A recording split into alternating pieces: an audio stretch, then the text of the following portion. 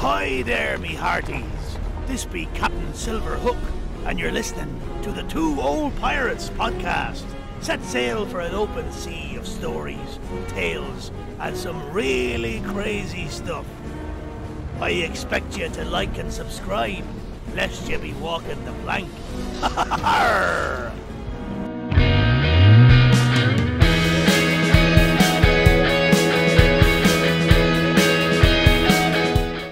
Hello, everybody, and welcome to the Two Old Pirates podcast, episode 104. Uh, this one is uh, an interesting one. It'll be short and sweet, and I hope that you really enjoy it. We're going to be coming up on the beginning of season six at the end of this month, so uh, I hope that you'll watch this, uh, share it, and if you've not subscribed, please subscribe. This is a true story of uh, one of my teaching years and what happened with some students. If you look at the picture that goes along with this episode, you'll kind of get an idea what was going on.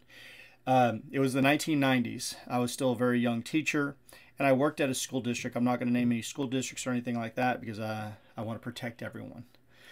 But to make a long story short, I was teaching at a school district, and they had open campus for lunch, which means the students could come or go and uh, so that was still kind of normal for some school districts in the 90s.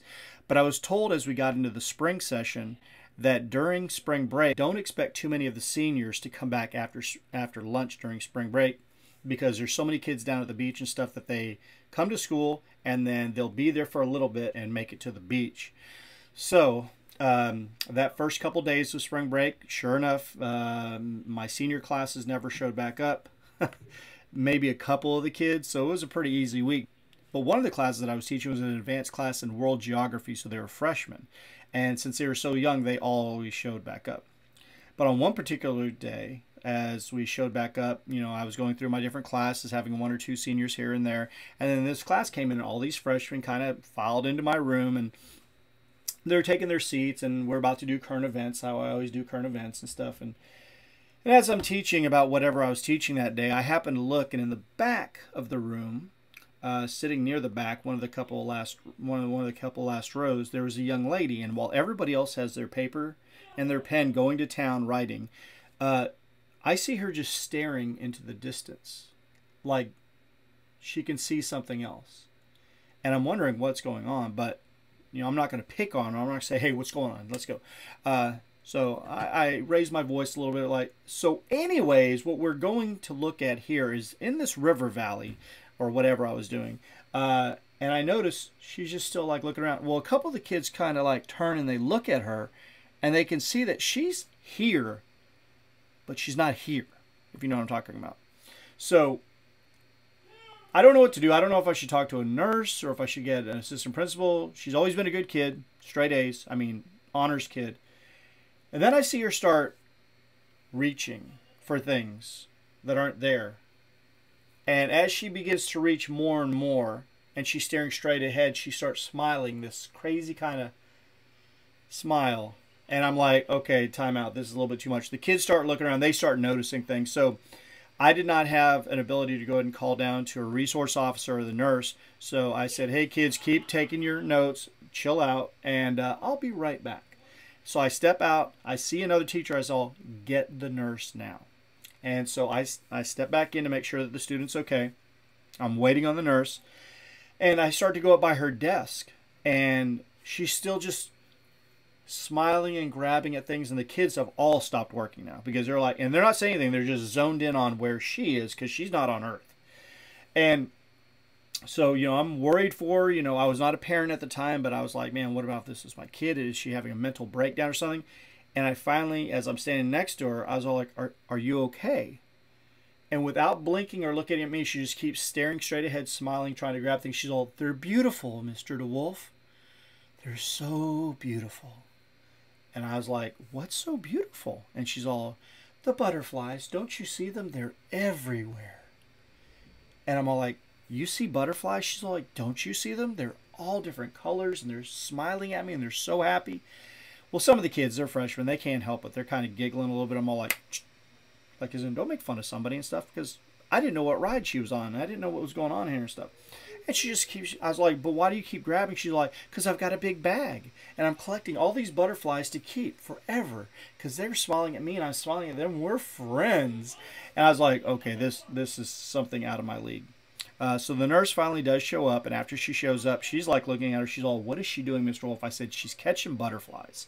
She's catching imaginary butterflies that are smiling back at her." And she's all, "Oh my!"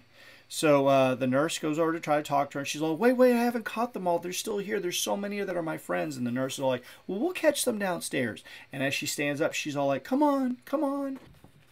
So she's still grabbing as she's walking through the aisle, and the kids, some of them are smirking, some of them are kind of giggling, some are staring into like, what is hope? Because don't forget, these have all been kids all through elementary and junior high. They're best friends, and they're all straight A students. They've never done anything like this. And so uh, they're kind of worried about her, some of her. So the nurse finally gets her out of the room, and I can't get the class to come back together. I'm all, look, guys, I don't know what that was. Evidently, she was seeing. Um, she was seeing butterflies everywhere, but we're not seeing butterflies, so let's get back to work. And that was almost impossible. So we spent the rest of the, the period just like uh, just talking about the weather and stuff like that. I, I kept on redirecting us away from her. Um, I found out that she spent at least a day or two in the hospital.